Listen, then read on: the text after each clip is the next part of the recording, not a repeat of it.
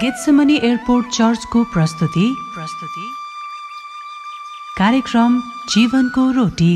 रोटी। रोटी। जय मसी गेट्सिमनी airport church परिवार साथै हामीसँग अनलाइनमा सङ्गति गरिराख्नु भएको आदरणीय दाजुभाइ दिदीबहिनीहरू। म टेक दाहाल सधैँ झैँ यो नयाँ विषयमा वचन लिएर आएको छु। र आजको वचनको शीर्षक रहेको छ सङ्गति किन गर्ने? र मतिको पुस्तक अठार अध्यायको बिस पदबाट आजको वचनलाई म थाल्ने गर्न गइरहेको छु।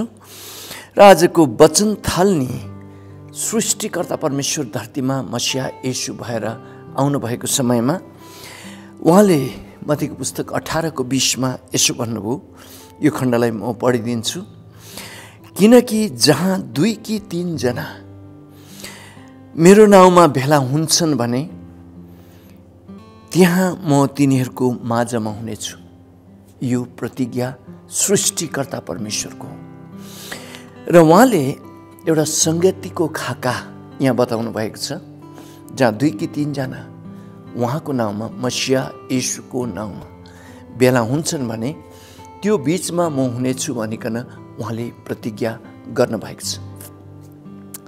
र जब हामी सङ्गतिमा भेला हुन्छौँ त्यहाँ प्रभुको उपस्थिति हुँदछ। आदरणीय क्रिस पारखी दाजुभाइ दिदीबहिनीहरू। र सृष्टिकर्ता परमेश्वर मसिया यसु भइकन धरतीमा आउनुभएको समयमा उहाँ पत्रुसको घरमा जानुभयो र सासूलाई निको पार्नुभयो त्यहाँ सङ्गति गर्नुभयो। अन्य ठाउँहरूमा पनि उहाँ सङ्गति गर्न जानुभएको हामी देख्दछौँ। र बेथानीमा धेरै पटक मरियम मार्था र लार्जस भएको परिवारमा उहाँ सङ्गति गर्न जानुभयो र उहाँले यो नमुना धरतीमा छोडेर जानुभयो। प्रभु यशुले मतीको पुस्तक अठार अध्यायको पदमा भन्नुभयो जहाँ दुई वा तिनजना मेरो नाउँमा भेला हुन्छ भने त्यस बिचमा म हुन्छु भनिकन सङ्गति सम्बन्धी बताउनु भयो र आदरणीय ख्रिस पारकी दाजुभाइ दिदीबहिनीहरू सृष्टिकर्ता परमेश्वरले नै सङ्गति चाहिँ उहाँले स्थापना गरिकन यानि गर्नुपर्छ भनिकन उहाँ धरतीबाट बिदा हुनुभएको हो। उहाँले मुक्तिको कार्य गरिसकेपछि। र हिब्रूको पुस्तक दस अध्यायको पच्चिस पदले हामीलाई यसो बताउँदछ। यो खण्ड पनि म पढिदिएँ। कतिजनाको सङ्गतिमा नजाने बानी हुन्छ तर हामी चाहिँ एकसाथ भेला हुन नछोडौँ। तर प्रभुको दिन नजिक आइरहेको तिमीहरूले देखेको हुनाले अर्कालाई एक अर्कालाई झन प्रोत्साहन दियो। एउटाले अर्कालाई झन प्रोत्साहन दियो भनिकन यस खण्डमा स्पष्ट बताइएको छ। यो सङ्गतिमा चाहिँ कसै कसैको नजाने बानी हुन्छ। तर यसरी नजाने गर्नुहुन्न। हामी सङ्गतिमा जानुपर्छ। र सङ्गतिमा जाँदाखेरि हामीले एक दोस्रोलाई प्रोत्साहन दिने गर्दछौँ। हाम्रो यो एकजनाको विश्वासले अर्को व्यक्तिले प्रोत्साहन पाउनुहुन्छ अर्को व्यक्तिको विश्वासले अर्को व्यक्तिले प्रोत्साहन पाउनुहुन्छ। भनिकन यहाँ सङ्गतिमा हामी जान छोड्नु हुँदैन। भनिकन हिब्रूको पुस्तक दस अध्यायको पच्चिस पदले हामीलाई यो स्पष्ट गरेको छ। आदरणीय ख्रिस पार्की दाजुभाइ दिदीबहिनीहरू र सङ्गति चाहिँ सृष्टिकर्ता परमेश्वरले नै स्थापना गर्नुभयो। र सङ्गति सम्बन्धी हामीले यो उदाहरण पनि लिन सक्छौँ। यो चाहिँ पहिला पहिला हामीले जो चुलामा दाउराहरू राखे हालेर राखेर जो आगो बाल्दथ्यौँ त्यो जस्तै मान्नुहोस्। पहिला हाम्रो आमाहरूले हामी सानो हुँदाखेरि स्टोभ यानि ग्यास चुलोहरूको जमाना थिएन। त्यो समय चुलो हुन्थ्यो र त्यहाँ चाहिँ दाउरा बाल्ने गर्नुहुन्थ्यो। र दाउरा बाल्दाखेरि एउटा मात्रै दाउरा बालिएको छ भने त्यो बल्दैन थियो। तर दुईवटा दाउरा तिनवटा दाउरा चारवटा पाँचवटा हुँदाहुँदै धेरै दाउरा भएको खण्डमा मजाले त्यो एक प्रकारको उनीहरूको सङ्गति भए जस्तो हुन्थ्यो कि क्या हो। त्यो भयो भने चाहिँ मजाले आगो बल् बल्दथ्यो।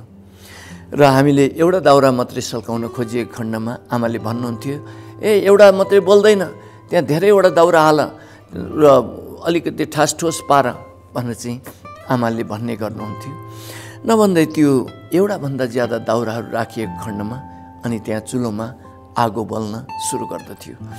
र आदरणीय पारखी दाजुभाइ दिदीबहिनीहरू त्यस्तै हामी एक्लै मात्रै भएर हामीले सङ्गति गऱ्यौँ बाइबल पढ्यौँ प्रार्थना गऱ्यौँ त्यो पनि राम्रो छ।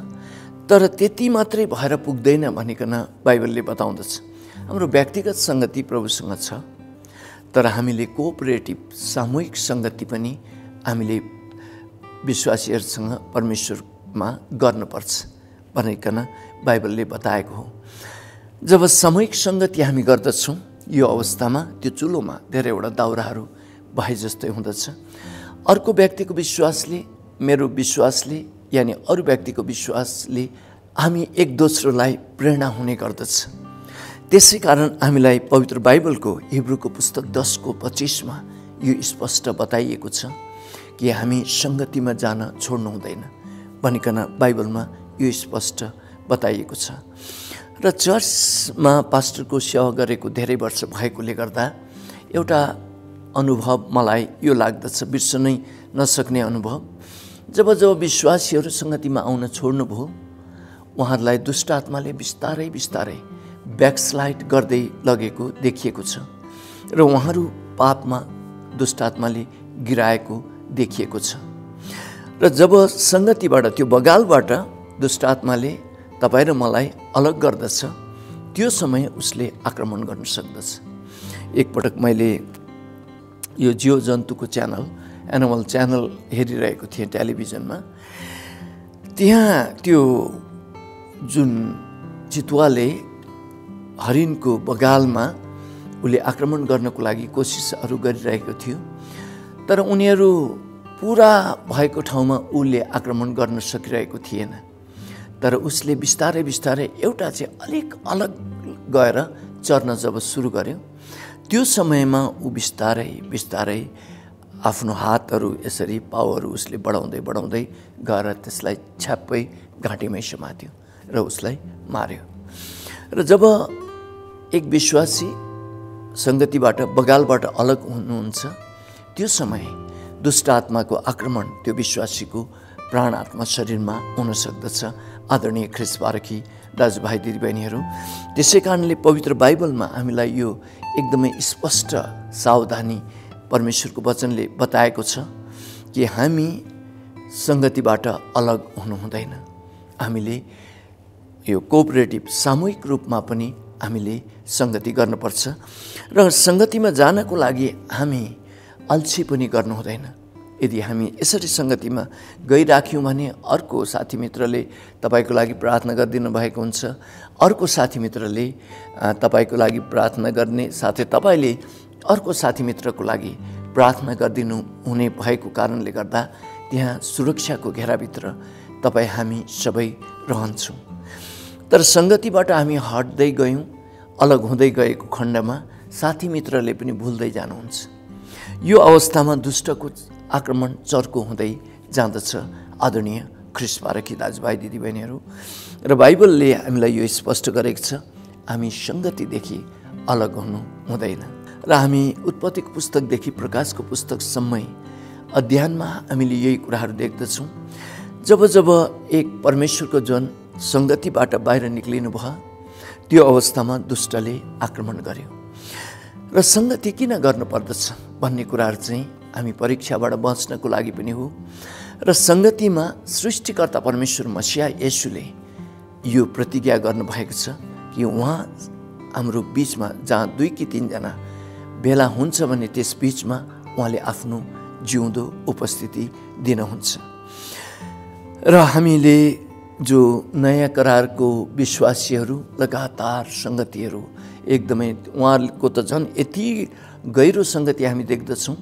उहाँले त सबै धन सम्पत्ति पनि साझा गरेर सँगै हिँडेर सँगै खाएर त्यो प्रकारले उहाँहरूले सङ्गति गर्दै हिँड्नु भएको हामी देख्दछौँ। र हामीले अन्य खण्डहरूलाई हामीले पढ्दै गएको खण्डमा त्यहाँ जब ख्रिस यसुलाई विश्वास गरिसकेका परमेश्वरका छोराछोरीहरूले चाहिँ उहाँहरू एकसाथ सङ्गति गर्दै प्रार्थना एकै मनको भएर प्रार्थना गर्दै हिँड्नु भएको हामी देख्दछौँ। यो चाहिँ प्रभुको इच्छा पुरा गर्नको लागि पनि सङ्गति गरिन्छ।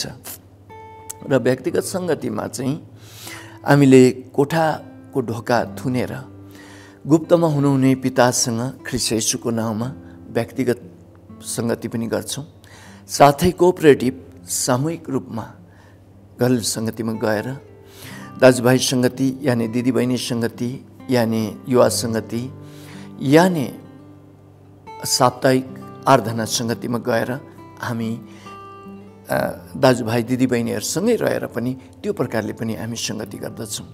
र आदरणीय ख्रिसबारकी दाजुभाइ दिदीबहिनीहरू हामीले सङ्गति गर्न हामी अल्छी गर्नु हुँदैन। सङ्गति जान हामीले छोड्नु हुँदैन। सङ्गतिमा प्रभुको उपस्थिति हुँदछ र सङ्गति लगातार हामी गएको खण्डमा प्रभुले हामीलाई सुरक्षाको घेराभित्र राख्नुहुन्छ। र यति भन्दै म टेक आजको वचनबाट बिदा हुन्छु। जय मसी